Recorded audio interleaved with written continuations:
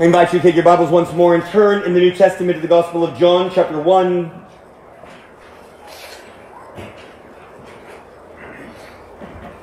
We're picking up this morning with verse 19 and going down to verse 34.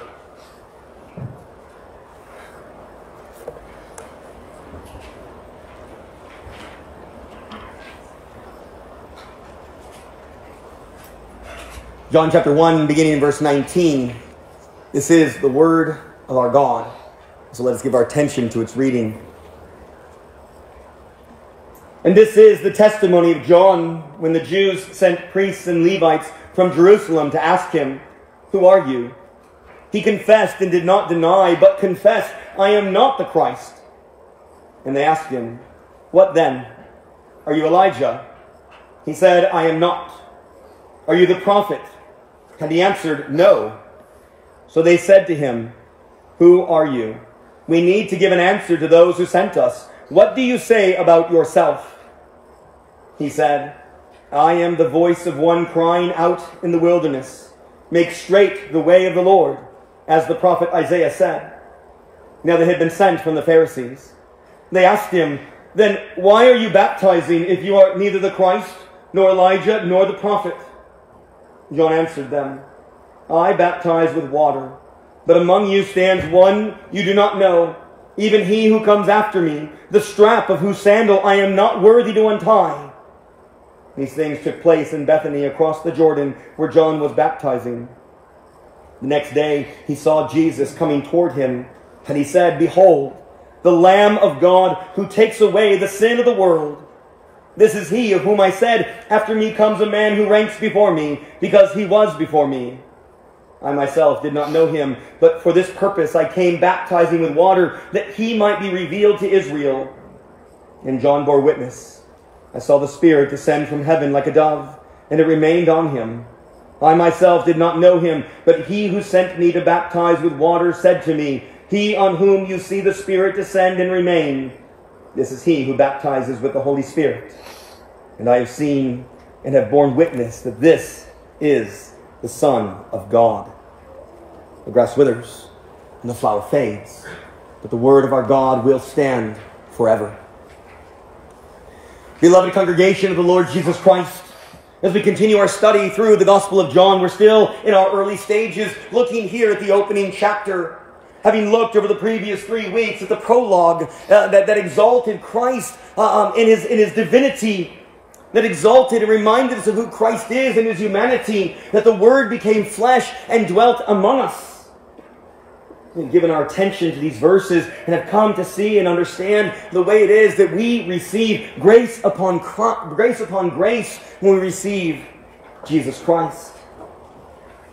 We've learned about how Jesus brings full, that Jesus being full of grace and truth is of the utmost importance to us. For we rely upon His grace and His truth every moment of every day. The Apostle John writes to encourage our belief in Jesus as the Messiah. He wants us to understand that Jesus is the Christ, the Son of God, and that by, by believing in His name, we have life. Indeed, the prologue that we've been studying is a deep, uh, uh, is a deep well from which we can draw so many truths and come to understand more and more of our Savior. And as we leave it behind, I don't want us to think as though we're done with it. Reflect upon those first 18 verses on your own, but also know that they will come back up, for they lay out everything that we're to look at in this gospel, and so I'll make reference to them throughout our study together in this gospel. Well, throughout those opening verses, the Apostle John interspersed his, his talk of Christ with the testimony of John the Baptist.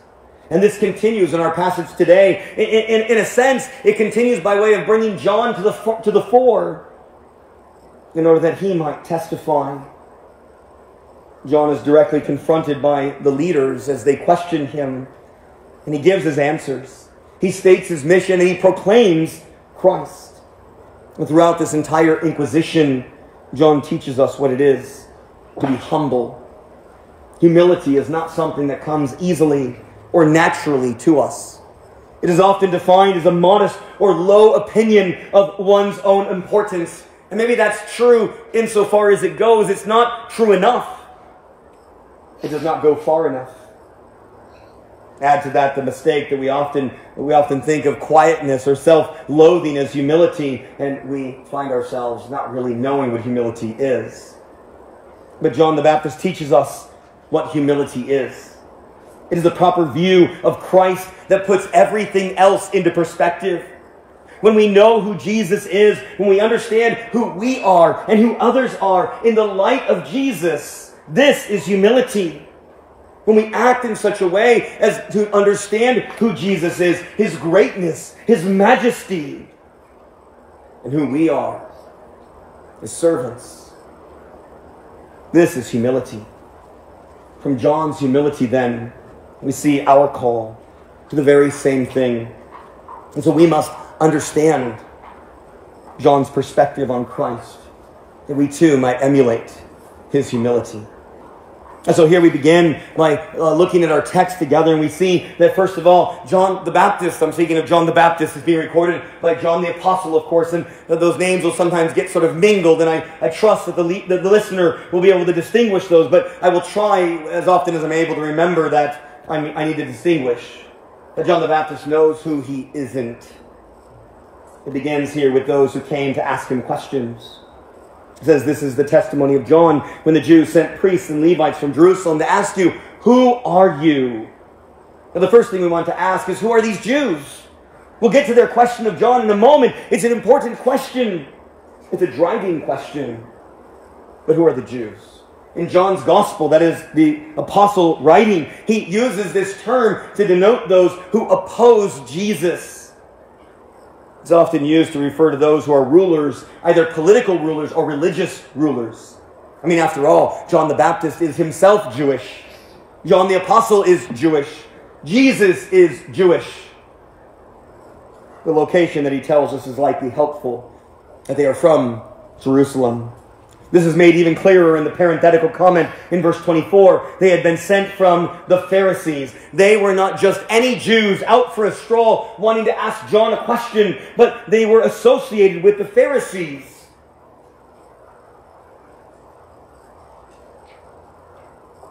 And so they sent these priests and these Levites to ask these questions. Well, the priests were of the Sadducees. So we have the Pharisees and the Sadducees. The Sadducees, the Levites were those that were assigned to help them. We don't have time to delve into the history of the Pharisees and the Sadducees, but as a, as a place marker, they arise during the intertestamental period between Malachi and Matthew. During that time, the Pharisees, they begin as a group of people who are separatists. They keep themselves free from legal contamination. And the Sadducees, they are sort of the, considered the ones that, that, that are members of the council, literally what the, the idea of Sadducee comes from. The Sadducees were known for their political power and their control of the priesthood. The high priest was from that line. So their connection with the Levites is also clear, for they served the Sadducees. The Pharisees themselves had a certain kind of power, but usually it was a populist kind of power, authority among uh, over the people, the crowds. And so here they come, these Sadducees, these priests, these Levites, being sent by the Jews from Jerusalem, the Pharisees. They come and they want to understand who John is, what exactly is going on. They have heard enough, of course. We can we could parallel this with other gospel accounts. They, they have heard enough about something odd that had taken place, you know, roughly 30 years before the birth of one in Bethlehem. And so they want to know who John is, and they're trying to ascertain exactly his relationship to what had happened previously and what they suspect is about to happen. They ask him, Who are you? It's not a matter of introductions or his name. When they ask him, Who are you? it's essentially they're asking, Why are you baptizing? By what authority do you have to be baptizing? For John to be calling the nation of Israel to repentance as he was doing. Who was he? To do such a thing. So John makes a very clear denial. In verse 20, uh, uh, they undoubtedly asked him, or, or at least he, he anticipates that they would ask him. He says, we read, he confessed and did not deny, but confessed, I am not the Christ. Now that's kind of a clunky way to put it from our perspective. It's a very strong denial. In fact, it might be a little strong that we, we, we raise, it raises suspicions in our minds. One of those things that you protest perhaps too loudly.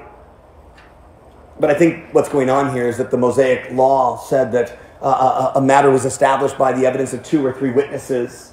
And John, John is essentially witnessing for himself.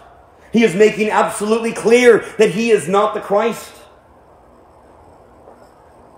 Now, I do find it interesting that John's gospel begins with these three denials of John, and it ends with Peter's three answers to Jesus' question of whether or not he loves him.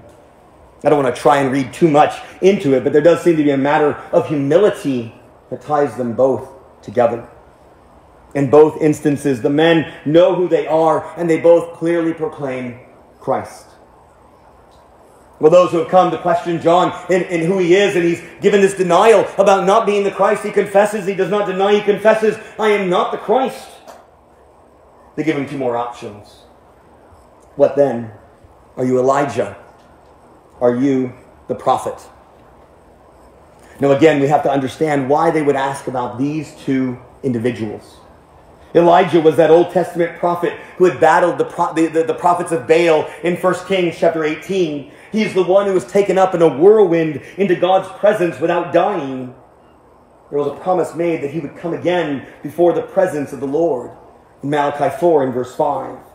Behold, I will send you Elijah the prophet before the great and awesome day of the Lord comes. And so they ask him, Are, are you Elijah? And John says, I am not. Now that's interesting because we know that Jesus says that he is.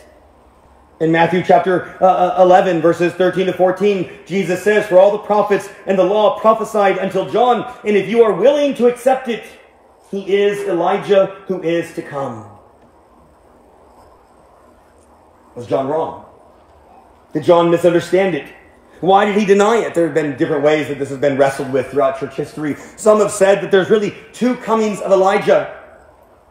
There's one of Elijah coming in spirit, and then that was John the Baptist, and one of Elijah coming in the end in power, and that is not John the Baptist.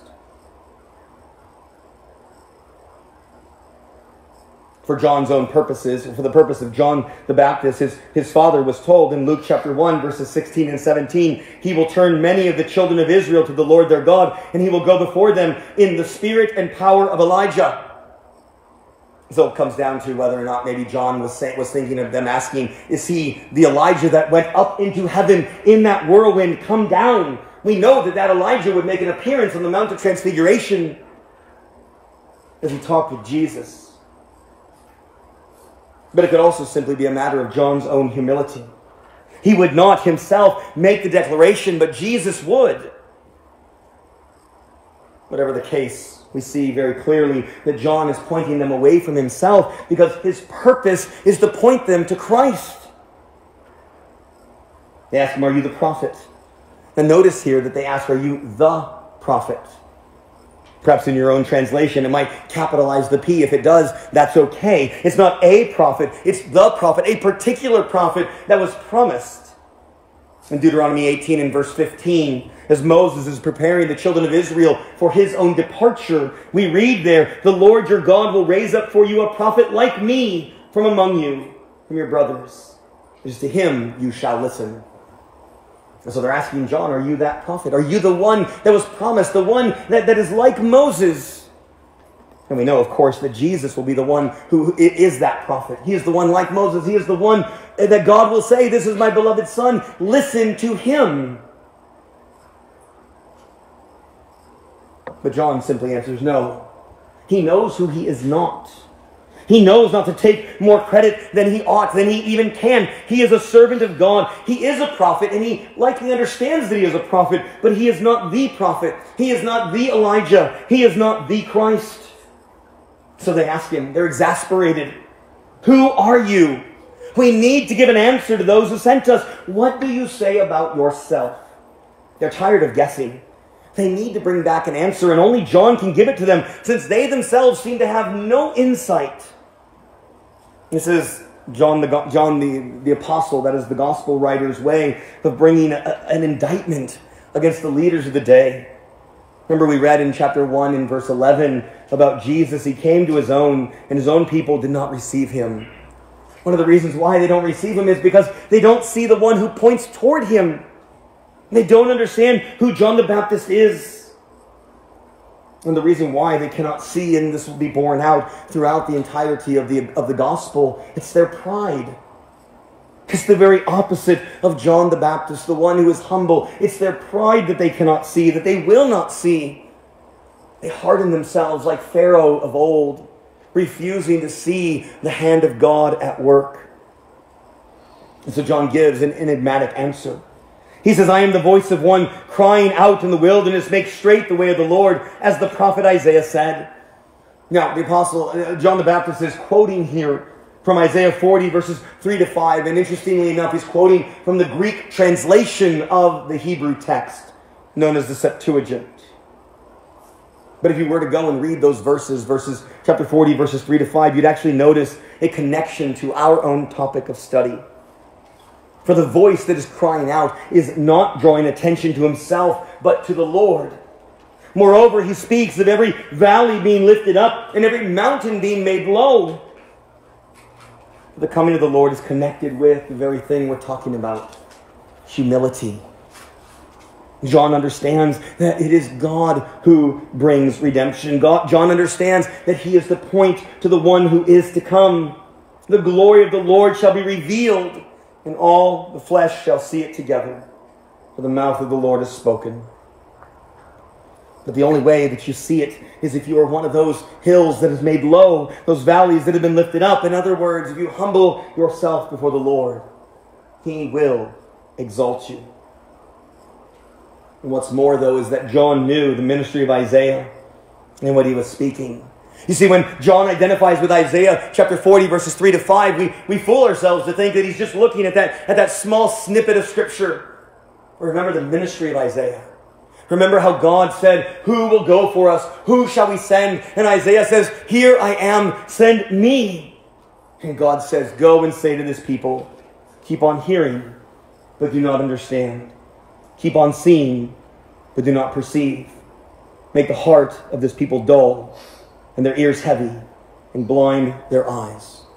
Jesus will cite this passage from Isaiah in his own ministry with regard to the parables, so it makes sense that John would see himself in light of this. In other words, it's no surprise to John that here he is proclaiming Christ, and they keep asking him, Who are you? And he's saying, It doesn't matter who I am.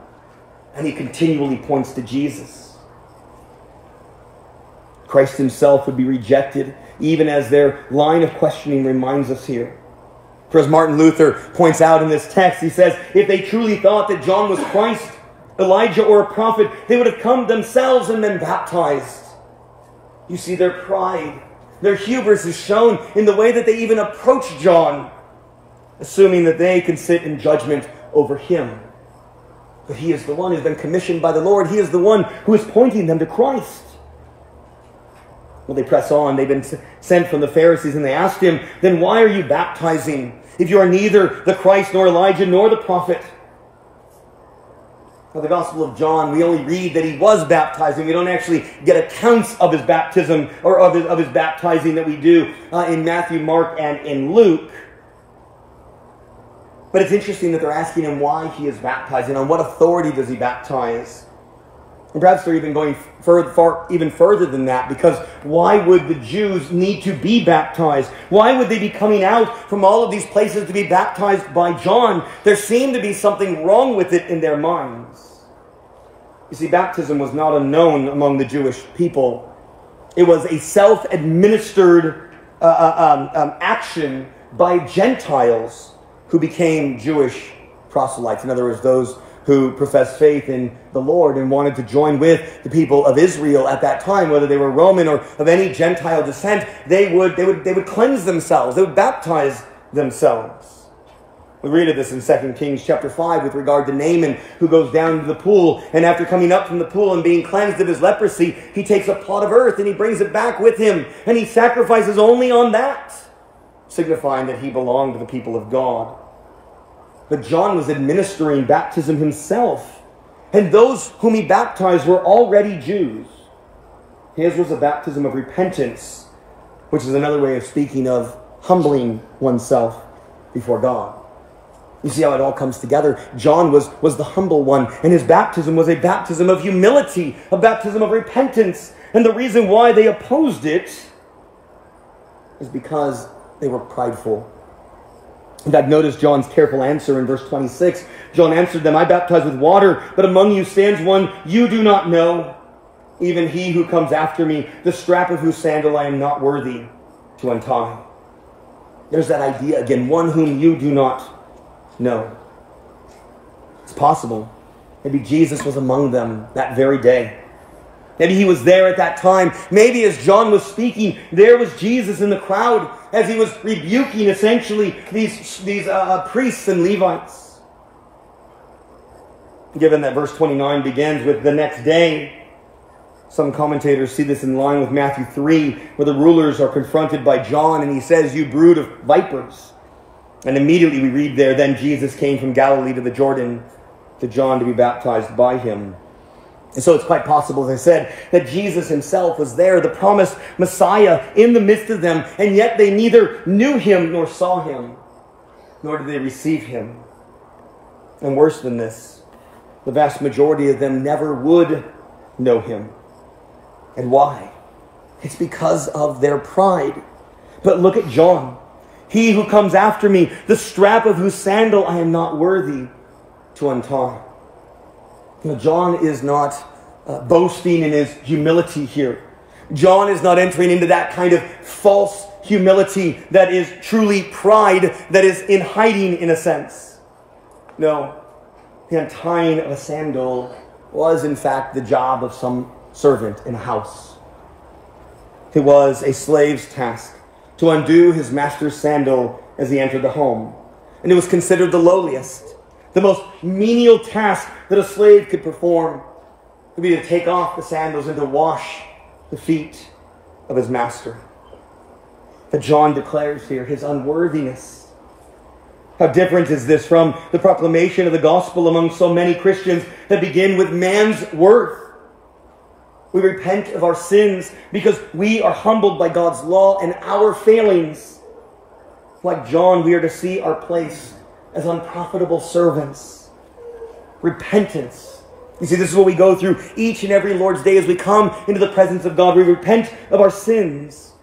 He calls us to go against the world, our own flesh, and the devil, whose pride was clear in Genesis chapter 3.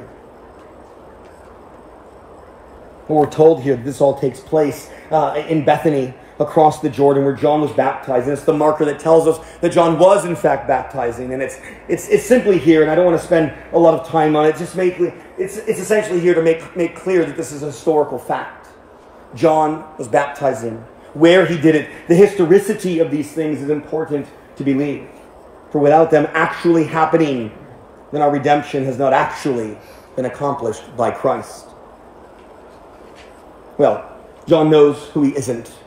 John knows who he is. These, this we could say is one part of humility, focusing on self and understanding self. But we also know the other part, and that is that John knows who matters most. Look with me together. At, let's look together at verse 29. The next day, he saw Jesus coming toward him and said, Behold, the Lamb of God who takes away the sin of the world. Interestingly, John knew Jesus, knew who he was, being cousins uh, uh, um, by, by their mother's relation.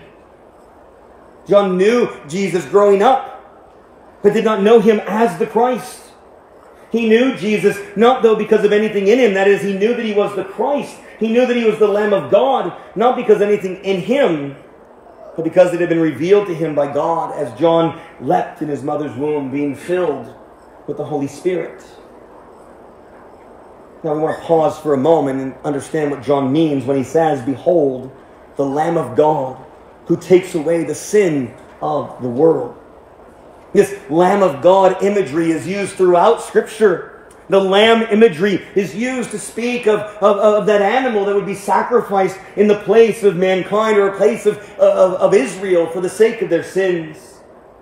We find it, of course, in Genesis 22, though it's a ram, but it's the same imagery. It's a ram caught in a thicket in Genesis 22 so that Isaac would not be sacrificed.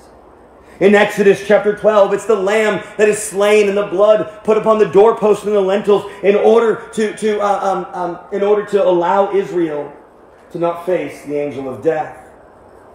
It's in Isaiah 53, the lamb that is led to the slaughter like a sheep that before its shearers is silent. So he opened not his mouth. He was oppressed. He was afflicted. There, of course, the Lamb of God, Isaiah 53, is the suffering servant. We see in Revelation chapter 5, again, that language of the Lamb that was standing as though it had been slain. Revelation 5 and verse 6. So when John sees Jesus and declares, Behold, the Lamb of God, he's picking up on this imagery that we find throughout the Old Testament that's associated particularly with the forgiveness of sins. And that's exactly what he says the Lamb of God who takes away the sins of the world.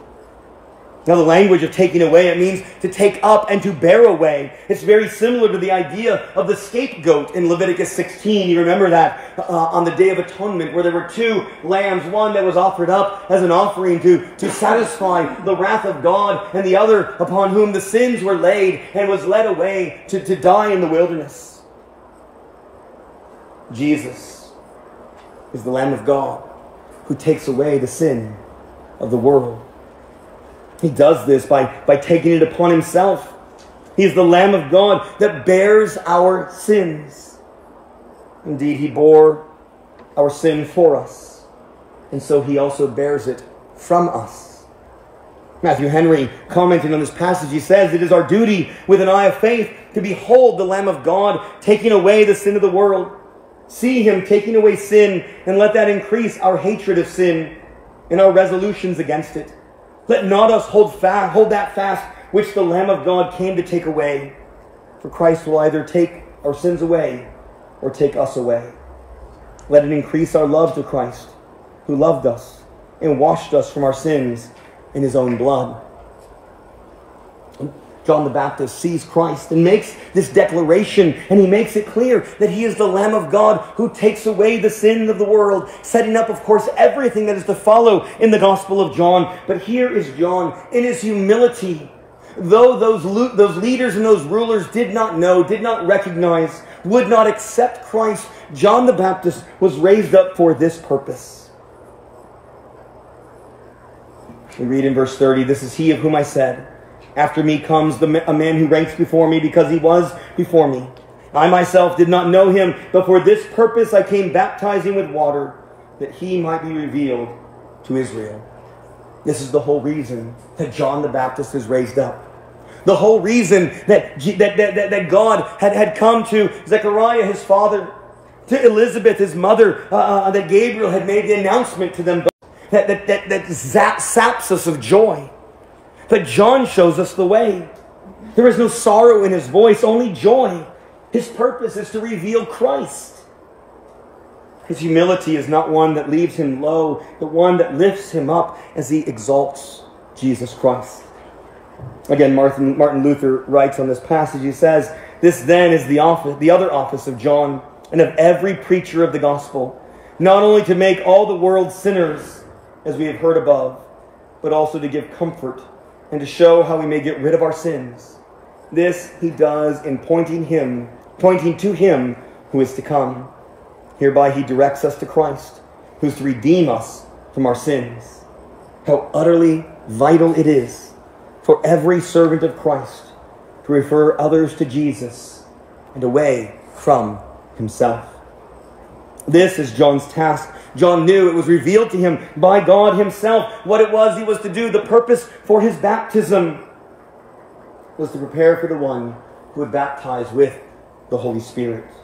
We'll have more to say about that as we come to that upper room discourse in John 17 and the promises of Jesus. But notice John's concluding point. I have seen and borne witness that this is the Son of God. John saw the Spirit descend upon Christ and remain upon him. He heard the one who sent him to baptize and what he had said and, and, and how he was to point to Christ. And now he knows this is the Son of God. John understood himself. He understood his call. He understood his own person. He understood Christ, his glory, his sacrifice. He understood all others in relation to all of that. This view of himself, of Christ, and of others is essential to understand. For you, you see, beloved, if we are big and others, including Christ, are small, then we are prideful. If others are big and we, along with Christ, are small, then we become fearful. Only when Christ is exalted and all else, all others, are seen in the light of his greatness, and we ourselves are seen in relation to Christ, can we be confident in the Lord? You see, this is what allowed John to be confronted by those leaders by those who would, who would try to put him down or even tempt him to raise himself up. John knew who he was. He knew who he wasn't, but he knew who matters most. It's Jesus Christ. This, beloved, is what God's people are called to. This is our relationship to Christ. He must increase, we must decrease, and we must rejoice that He increases.